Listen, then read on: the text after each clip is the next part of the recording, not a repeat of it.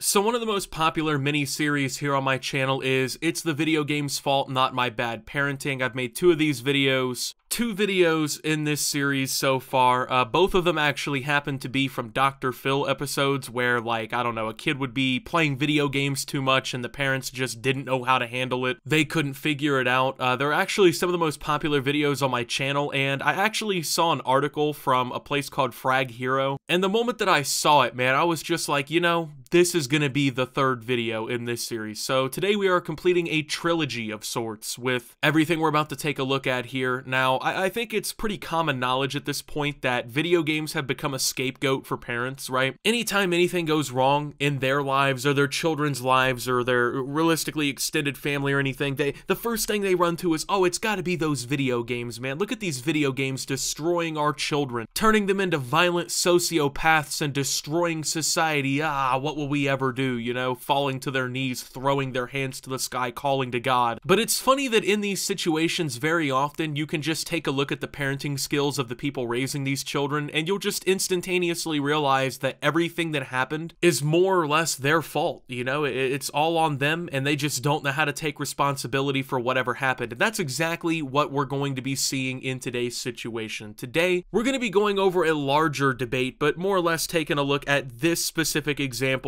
and seeing, you know, just what's going on here. So it seems like something that's become more and more common over the years as video games have blown up even more and the rise of microtransactions and stuff has come along, and that would be kids stealing their parents' credit card or using the credit card already attached to their PlayStation or Xbox to buy hundreds of dollars of microtransactions. Now, you can understand why this is a problem. Most people already live paycheck to paycheck, at least here in the United States, and when you have your child out here spending 300 bucks on the new Fortnite shop, that could be the difference between paying the electricity bill and going hungry, right? That, that could actually mean a lot to a lot of people. So it's a very high stress topic because, I mean, if you put yourself in these people's shoes, like, you can see why they're upset. But at the end of the day, you're going to notice a lot of different things about this when we take a look at it. So. The fucker got 43, 49 I'm gonna fuck you up.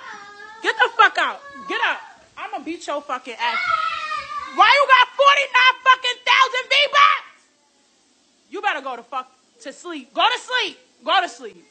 All right, for those of you who don't understand, so the kid who is crying in the background either somehow took his mom's credit card or used once again the one already attached to the system to buy nearly 50,000 V-Bucks on Fortnite. So uh, I went through and I looked at this article and everything, and apparently that is nearly 300 real life dollars spent on V-Bucks. So you can definitely understand why the parent is upset here. That's a lot of money. I mean, that's like a bill for some people, right? That's like electricity for a family or something like that. So so I do understand why the mom is mad, but uh, in this situation, let's be honest here. Regardless of how it happened, it really just kind of comes back on you. And I, I, know it's easy to blame the video games or, or to blame the kid for doing it, but in reality, it's not really either their fault. So I don't know if that's controversial to say. I mean, yeah, of course, to a certain extent, the kid is in the wrong, but the kid, from what I can hear in like the crying and stuff, is pretty young, right? You know, we're talking about like a 7, 8, 9, 10 year old kid here. I mean, kids do stupid shit. You know what I mean? Kids will go and do things, even if they know that it's wrong, they'll do things just because, you know, they lack impulse control and they don't have great decision making. And I'm gonna blame the mom in this situation. I, I, I don't know if this is gonna be controversial because, you know, everyone likes to blame video games and everything for, for what's going on here, but let me explain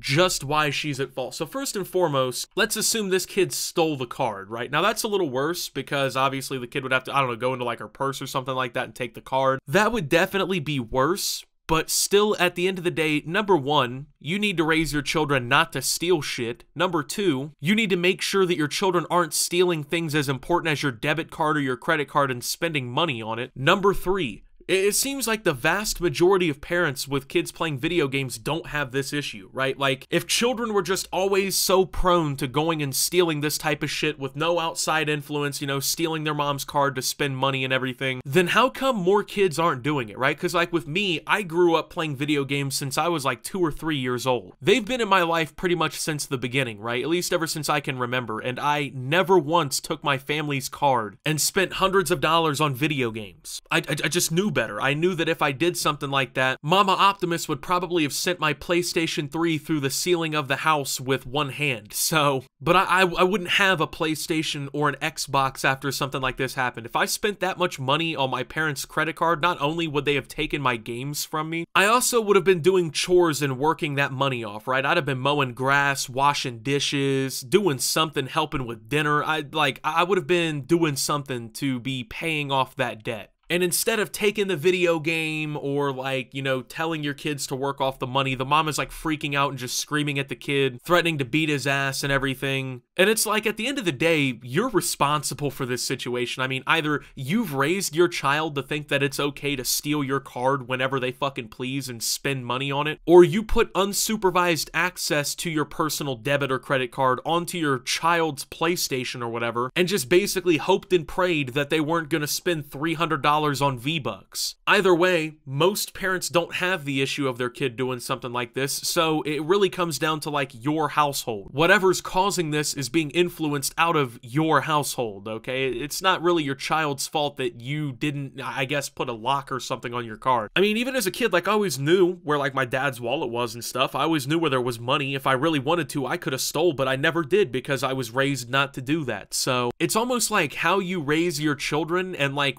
how active of a parent you are in their life actually influences their fucking life. I know that this is like a shocking moment for some people where they're just now realizing like, oh, I actually have to be a parent, but no, like you you really do have to put some fucking effort into like teach your kids to not be scumbags and like ruining society. And I know that it's not that deep, right? Like this kid didn't take down, you know, fucking democracy or something by spending 300 bucks in Fortnite, but it's just insane to me that the mom is like blaming the child as if like her 8-year-old son is responsible for her not using the parental controls on a PlayStation. So, I don't know if you guys know this, but like at least on some game launchers and like some consoles and stuff, I'm pretty sure it's a standard feature now, but like I've been seeing it a lot more over the last few years, but there's there's parental controls now. So you can put your debit card or whatever on your kid's Xbox or Nintendo and whatnot. The only thing is they have to enter like a four digit pin or something like that to use the card to make a purchase or you have to enter your email address or something for it to go through. Like they, they have these features to where the parent has to authorize the purchase. I'm pretty sure they even have like apps that you can do it remotely with your phone from, right?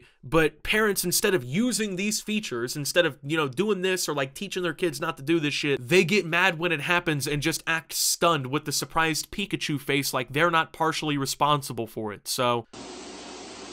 You $80 mad times because how you got 49,000 V-Bucks? You be violating.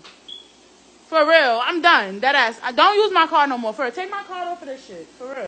All right, so there's something there that I really kind of want to focus in on. I think this really highlights the problem here, okay? So at the end of this, you hear her say, Don't use my card anymore. Take this off your PlayStation. Of course, not in that nice of a tone, but that's what she says. Now, let's get this straight, okay?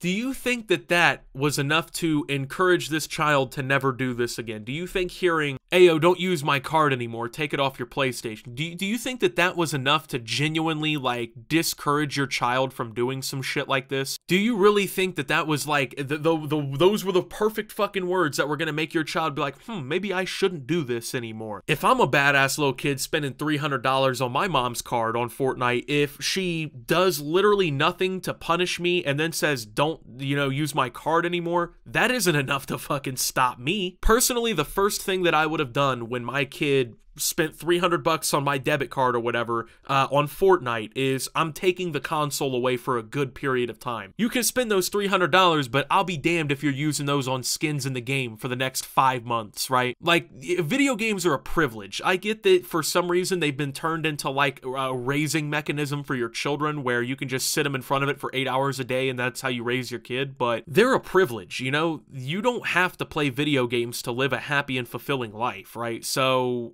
my kid is doing some shit like this, I'm sorry, I'm not filming a fucking TikTok about it and telling him not to use my card. His PlayStation is now my PlayStation, and he's not playing that shit until he earns the money back through some chores. I don't know if that's too harsh of parenting, but no, my kid is mowing some grass. My kid is helping with laundry. He's cleaning some uh, dishes or something until he gets that $300 worked off. Because there is absolutely no way that I'm just letting this fucking slide. Now, people are saying, oh, dispute it with the bank. Dispute it. You know, get get your money back. Yeah, that's great. That works wonders and everything, but at the end of the day, what does that teach your fucking kid? You know, what what exactly are you teaching your child when you don't do anything to like give them consequences for their actions? You shrug your shoulders, say don't do it again, and then just go get your money back from the bank. Even if they are willing to actually refund your money or whatever, some banks are not going to refund that money because, well, you should have been a better parent and made sure your child wasn't doing this shit. It's just ridiculous to me that like people defend parents like this, right? People defend them not giving a fuck enough to do anything, right? I mean, you can threaten to beat your child's ass all you want, but if at the end of the day the punishment is telling them don't do it again, what the fuck are you teaching your kids? Like, I- am starting to see maybe the reasons why this happened in the first place through these videos. And you know, I've had parents who've emailed me or commented or whatnot on these videos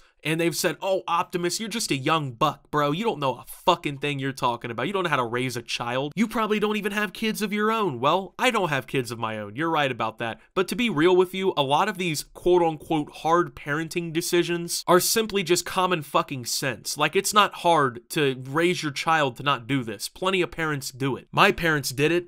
Incredible, right? But it's just about deflecting and making yourself not the problem, even though you're the one at fault. Now, with that being said, though, thank you guys for watching this video. If you did enjoy, make sure to leave a like, subscribe if you're brand new around here on the channel. Make sure to follow me over on Twitter and Twitch at SubToOptimus. Also, man, make sure to check out Shop Opti. I just released a whole bunch of new merchandise. It supports the channel 10,000 times more than watching one single YouTube ad with a purchase. And of course, it supports all of the Optimus ventures. It helps support the content, any future things that I might do for the channel. Link is in the pinned comment and description. And uh, yeah, with that being said, until my next video, guys, this is Optimus Well blaming the video games again and signing out.